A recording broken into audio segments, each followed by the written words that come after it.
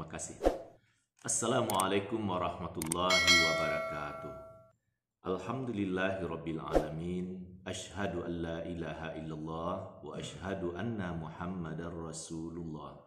Rabbishrah li sadri wa yassir li amri wahlul 'uqdatam min lisani yafqahu qawli.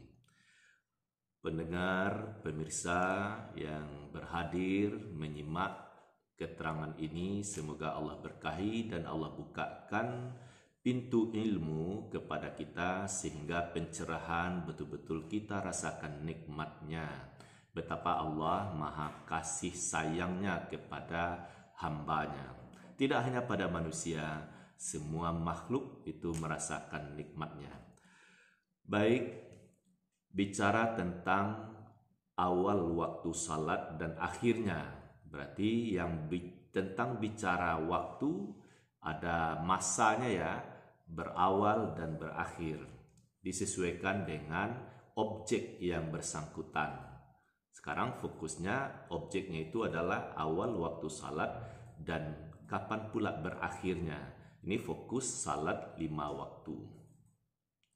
Allah berfirman surat Bani Israel ayat 78 A'udzu billahi minasyaitonir rajim. Aqimis salata liduluki syamsi ila ghasaqil laili wa qur'anal fajr.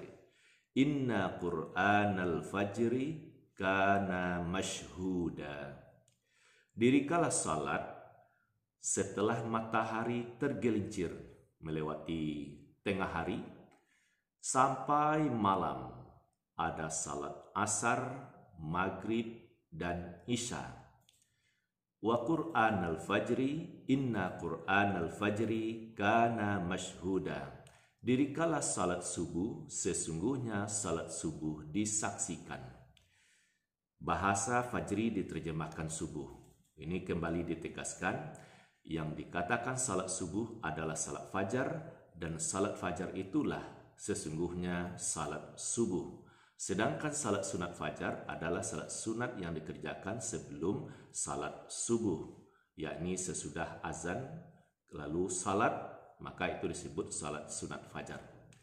Kita orang Indonesia menyebutnya salat subuh, tapi banyak negara terutama Arab Saudi, sebutlah Mekah dan Madinah, apabila dicermati waktu salatnya bertuliskan fajar, zuhur, asar, maghrib, isya. Kalau kita di Indonesia, subuh, zuhur, asar, maghrib, isya.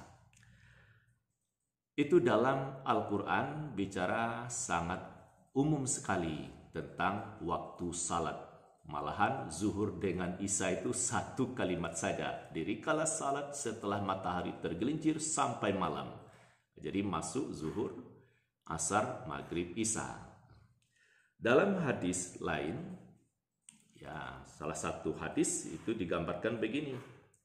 Dari Abdullah diungkapkan Abdullah bin Amr bin As waktu zuhur apabila matahari tergelincir memperjelas ayat tadi sampai bayang-bayang seseorang sama tingginya dengan benda itu yaitu selama belum masuk waktu asar. Ini batas waktu zuhur sampai asar masuk. waktu asar sebelum matahari menguning. Ini perhatikan jelang matahari terbenam beberapa menit itu matahari menguning. Di sini ada isyarat kalau terlambat salat asar jangan ditunggu dulu matahari sampai menguning Waktu maghrib selama mega merah belum hilang. Matahari kan terbenam, maghrib masuk.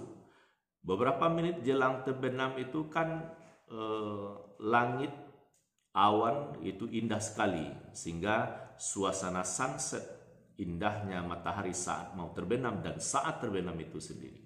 Begitu terbenam, matahari hilang dari pandangan mata, eh, masuk ke ufuk indahnya awan di sekitar matahari itu kiri kanan dan atasnya indah sekali selama uh, mega merah itu ada, masih ada waktu maghrib. Bagaimana dengan waktu Isya? Waktu Isya sampai tengah malam. Dibunyikan wa waktu salatil isya'i ila nisfil laili ausati. Waktu salat Isya sampai tengah malam. Ada juga diterjemahkan begini. Waktu salat Isya sampai tengah malam yang pertengahan. Jadi batasnya itu sampai tengah malam. Kalau dibuat jamnya ya jam 12 itu, jam 12 malam.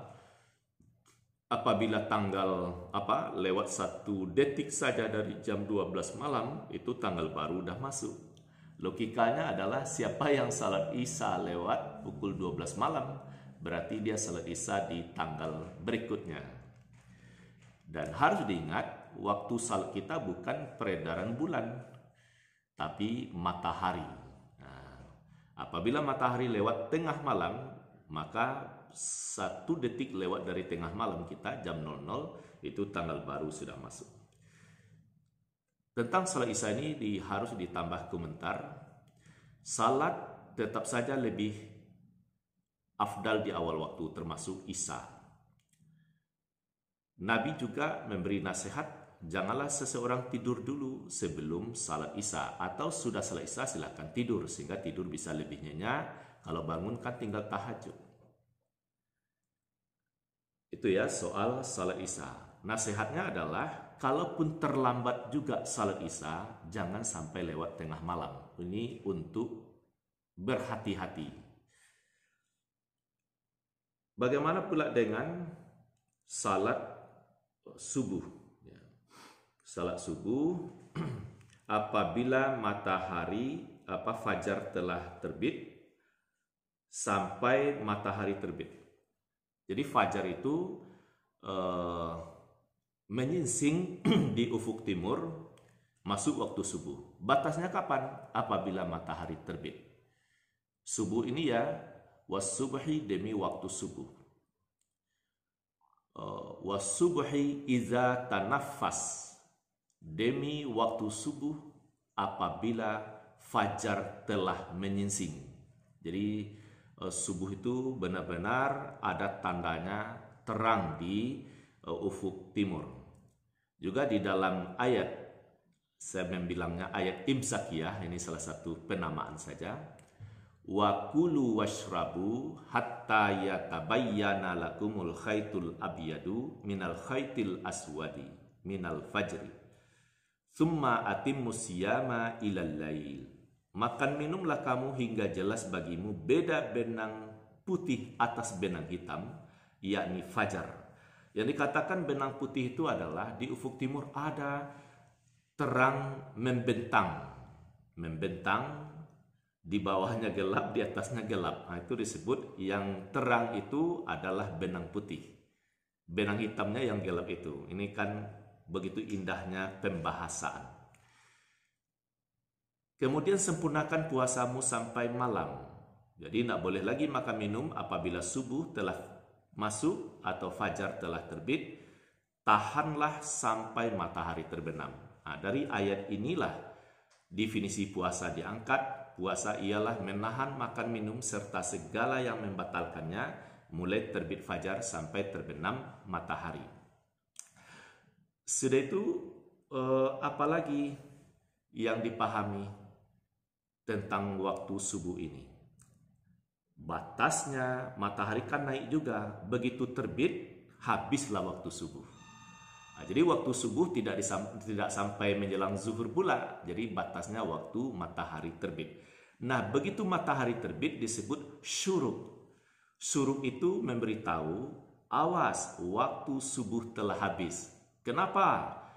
Matahari telah terbit. Jadi suruk yang ada di kolom jadwal salat jangan dikira itu untuk salat tapi malah memberitahu terlarang untuk salat. Nah, ini yang harus kita hati-hati karena ada orang mengamalkan salat suruk. Nah, tapi itu kan hak azazi ya.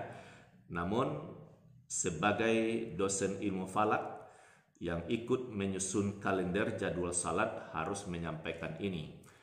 Eh, kami di Muhammadiyah termasuk Universitas Muhammadiyah buat kalender tentang suruk itu dibuat dalam kurung terlarang salat dan angka-angkanya atau menerangkan waktu itu dibuat merah supaya orang jangan salat di waktu suruk.